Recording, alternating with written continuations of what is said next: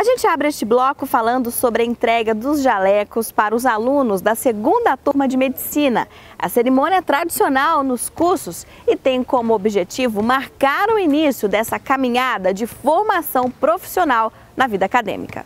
A cerimônia que marca a entrada da segunda turma de medicina da Unify contou com a presença de pais, alunos e professores da instituição. O destaque do evento foi a entrega de jalecos, tradicional em todos os cursos de medicina. A entrega dos jalecos é uma cerimônia que simboliza a eles a oficialização de estarem é, matriculados no curso de medicina. Né? A importância para eles, para as famílias, é um rito de passagem né? para essa vida acadêmica de um curso de medicina. Então é um momento muito especial para os alunos, para os familiares e para nós, professores e, e diretores, né, reitores, pró-reitores da instituição. Pela segunda vez, a Unify realiza a entrega de jalecos de mais uma turma de medicina. A tradicional cerimônia é um momento muito importante na vida dos futuros médicos. Autoridades sanjoanenses também estiveram presentes no evento e falaram dos benefícios que o curso tem oferecido à cidade. O profissional formado aqui vai, durante a sua formação, vai ajudar muito o corpo clínico, o corpo médico da corpo clínico da Santa Casa e o corpo médico da cidade como um todo, né?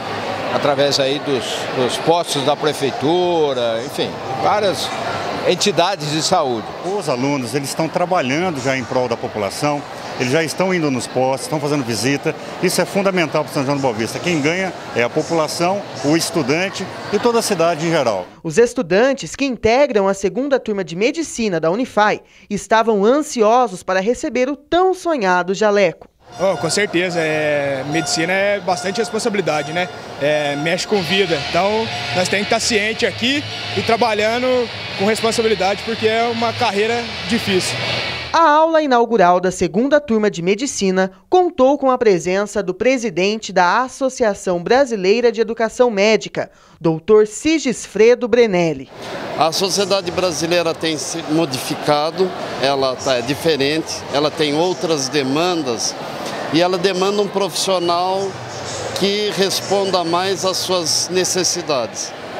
E é uma, é uma obrigação das instituições de ensino e um compromisso das futuras gerações responder por essa demanda social. Né? Então eu vou falar um pouco disso e como os novos currículos, como a mudança curricular, as novas diretrizes curriculares para o ensino da medicina apontam e notificam para a formação desse profissional que se precisa hoje. Os pais e familiares ficaram emocionados com o rito de passagem que marca o início da vida médica. Ah, é uma alegria muito grande para nós, né? Enquanto pais, né? A gente fica muito feliz, né? Com tudo isso, né? Com essa cerimônia, muita emoção. Foi muito emocionante, né? Porque a gente lutou muito por isso e agora estava todo mundo muito ansioso para chegar nessa hora. Foi realmente muito emocionante para todo mundo, acredito.